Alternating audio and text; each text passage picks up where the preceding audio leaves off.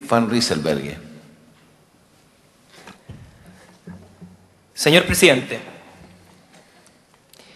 desde hace algunas semanas se viene debatiendo en la región del Biobío acerca del tipo de liderazgo y el tipo de relación que debe tener el intendente de la región con el gobierno central.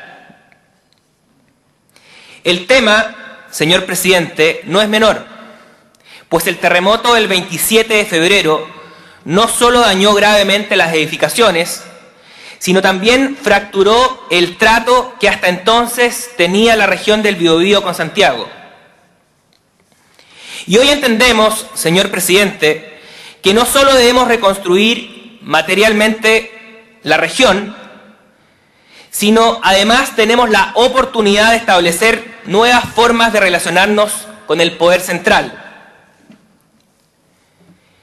Si lo piensa bien, señor presidente, en los últimos años han operado en nuestro país dos grandes reformas que han traspasado libertad y responsabilidad a las personas.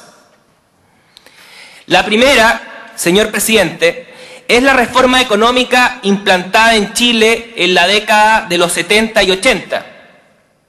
Su resultado fue traspasar a las personas y a las empresas, por la vía de la innovación y de la creatividad individual y colectiva, la responsabilidad del desarrollo la segunda gran reforma, señor presidente, fue la recuperación de la democracia, el traspaso de la libertad y la responsabilidad política desde el Estado hacia la gente.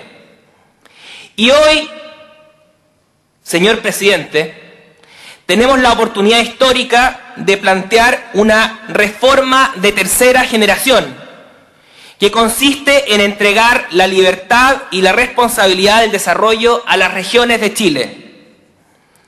Si nuestro país ha sido capaz, señor presidente, de entregar libertad y capacidad de iniciativa en materia económica y política, sin duda alguna ya es hora de traspasar funciones, recursos y capacidad de decidir sobre su destino a las regiones y así conseguir un Chile más equitativo, más justo y más inclusivo.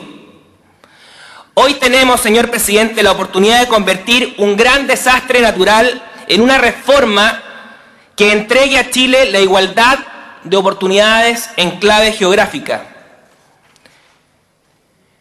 Por lo anterior, señor presidente, es que quienes vivimos en regiones y sentimos al regionalismo y a la descentralización como una tarea pendiente, Debemos concentrar nuestras energías en dar viabilidad política a las esperanzas de cambio, a las esperanzas de millones de chilenos que se sienten de segunda categoría por no vivir en Santiago y que esperan efectivamente un nuevo Chile, a las esperanzas de millones de chilenos que poseen menos educación, menos salud, menos empleo y menos bienestar por el solo hecho de vivir en regiones.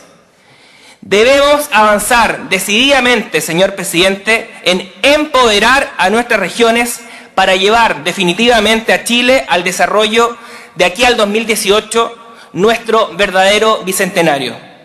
He dicho, señor presidente. Gracias, diputado Enrique Van Rieselberghe.